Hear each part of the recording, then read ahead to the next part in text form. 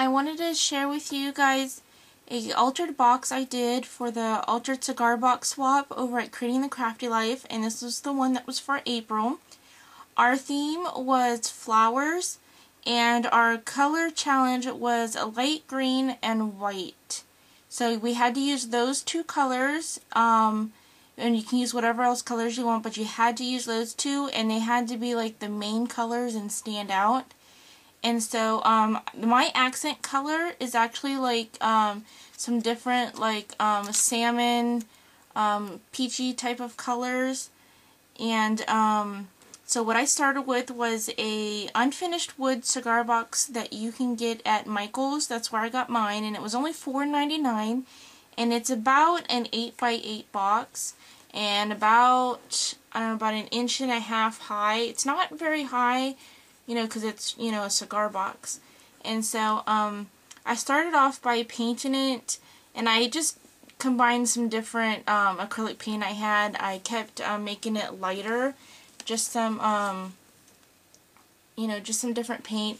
And I did a little trick, and um, which is really easy. Anybody can do it. And what I did is, as you know, gesso, and it's um, really, really easy. Let me grab it real quick. Um, and this is what it looks like. It's uh, uh, mine I get from it's by Golden, and it's gesso, and it's a really nice like acrylic medium for um, kind of like a primer. It's it comes in I believe black and white, and it's just really nice. Um, it works better than acrylic regular acrylic paint when you're covering um, surfaces like unfinished wood, especially large surfaces. And so I always use this, but this time I actually tinted mine with acrylic paint. You know, um, just simple like the 50 cent acrylic paint that you can get at Michael's. I believe it's the Craft Smart brand. And um, what I did is I, you know, made this my base. And then I added a little bit of the green um, acrylic paint. I used the light green so I wouldn't have to or you can use a darker green, you can add just a little bit. And I just kept, um, you know, mixing it until I got the color I wanted.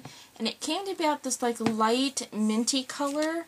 And I don't know how well the camera's picking up the color. Let's do this side again.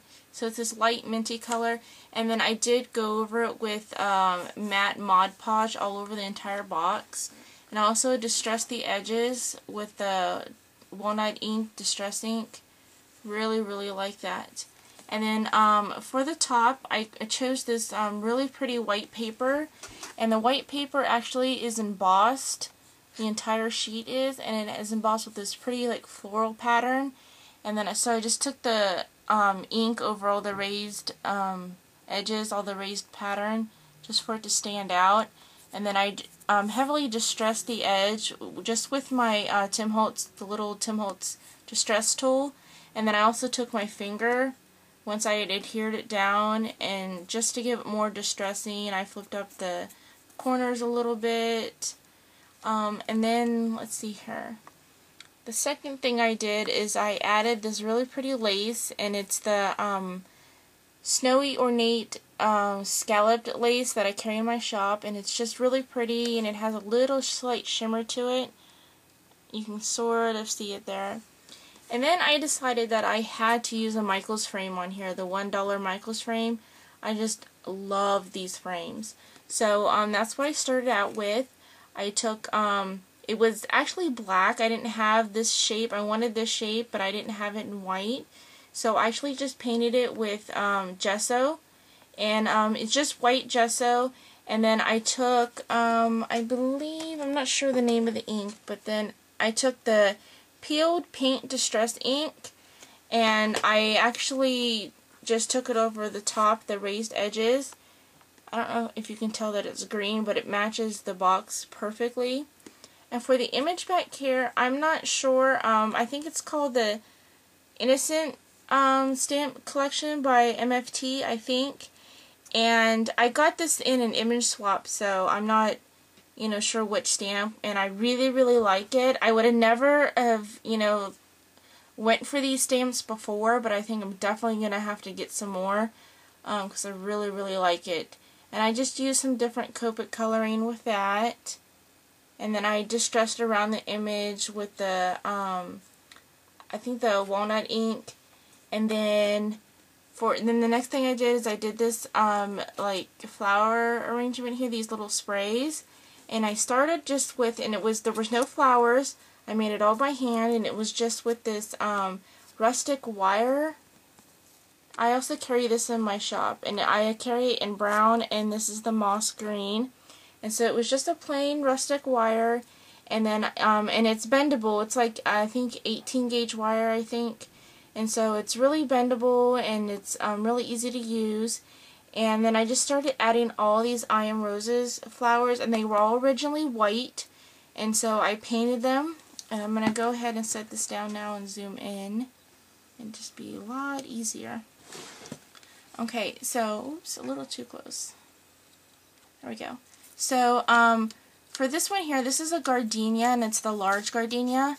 And I used the Cosm Cosmopolitan Pink um, Starburst Spray by Lindy Stamp Gang. And I really, really liked the way it came out. And it was just a perfect color that I wanted. And then for these two flowers on um, either side here, I actually combined some different sprays. And if you've never done this before, you have to do it. Um, I know they have tons of colors, but it's like a whole nother world when you start combining your colors. And what I do is I just um, pour out a little bit into like maybe one of those little like um, paint trays, you know, that just have like the little cups for your paint or maybe on a little mat depending on how much color you need. But I use the Wild Honeysuckle, which is actually, um, oops, which is actually this color here. It's slightly darker than the Cosmopolitan Pink. And then I also used, um, and don't hate on me guys, because I do love my Glimmer Mist too, and I combined it with the, the chocolate covered cherries because it has this like brownish tint but the um it of course because it's chocolate covered cherries it has like a reddish pink type of shimmer to it. And and so I combined the colors and then I wanted to lighten it up just a little bit so I added just a little bit of the Ghostly Gargoyle White um, Starburst Spray by Lindy Stamp Gang.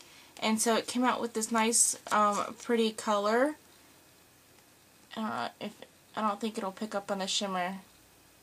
But um, it's just really, really pretty. And then I used um, I used the same thing here, but um, a little less of the color, so it's a little bit lighter. And then I used the same, the Cosmopolitan Pink on here, and then on the tips, I used um, the what I had left over from making up the, the color combination for that, just on the tips. And then I added some of these uh, wheat sprays, acrylic wheat sprays you can find in my shop, and this one is the salmon color. And so I added it all throughout the spray. I added some of the little mini acrylic flowers in the clear, and then I put a brown one right here in the center. Uh, let's see here. And then I did the same thing on this side, all the way up the spray. Oh yeah, and then the last thing on the spray here are these um, paste calla lilies, um, or some people call them porcelain calla lilies. And uh, I just got these in my shop. These are brand new, so I'm really excited. And so if they're not listed right now, they'll be listed very soon. And these are the small ones, and I carry them in white, and then this really pretty pink. It's like a, a pale pink. Very, very pretty. And then um, I added this little sentiment here. I used um, one of my Spellbinders dies and just, I believe this was just a Studio G stamp and it said Spring Joy and I thought that was perfect because it's, you know, springy. And then I used the little um, Tim Holtz memo pin down here and I distressed this edges um, with the peeled paint. Um, what is the antique linen? I went in on the inside so it wasn't like white white and then I did the peeled paint and then on and then on the very edge after doing the peeled paint I also did some of the walnut ink to give it like different dimension. And then to finish it off which really made it come together I used the pearls. I'm gonna back up now again. I used the um, the pearls you can see all around here and down in here. And um, these are like the Prima pearls. I love these. And they normally come in like the white and then they come in this really pretty pink color. And so I definitely wanted to use that. And then to accent it, I used um, this little itty bitty acrylic flower, and it's only a half inch. Look at it compared to my finger. It's so tiny. That is new to my shop, and that's available right now. And then I also used on this side here the small acrylic flowers, which is three quarters of an inch, and that's also available in my shop. So I really, really like that. Love the way the top came out. And then to finish it all off on the outside, I um I added some of this lace that I just had in my stash and it's a ruffled lace and and then there's a there's some ribbon that goes through it too on the top but I covered it with this um uh, rosette and pearl trim and it's like a salmony it's a salmon type of color a pinkish color and I carry that in my shop too and that was my actually my inspiration for all the accent colors that I used and what I painted everything because I just wanted to use this trim on this box so bad. Like, soon as I knew I was making this box, that I knew that one was going to be on there. And I love, love the way it came out. So it's all the way around. And then that's how I did the hinge. I actually had to remove just one of the one of the little flowers there to make room for the hinge. And then on the inside, sorry for guys for this video being so long. But then on the inside, I painted the top part white, and then I finished it off with the mint pearl trim that I also carry all the way around, and it's the 4 millimeter. Ooh, it's not focusing. And then, I don't want to show you too much of this, because I don't want Adele to see this before she gets it, but um, that's I'll just wait to upload it until she gets it. But um, I painted it the, the pale green on this side, so the top part is white and accented with the green and then the bottom is just all green. And then of course this is all the luscious flowers that are going to be that are in there.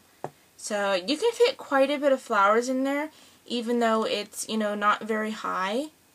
And so I filled all kinds of flower, Rista flowers, some flowers from my good friend um, Leslie. She is Scrap of Art Designs, and I put some of her little um, fabric roses in here, her felt roses.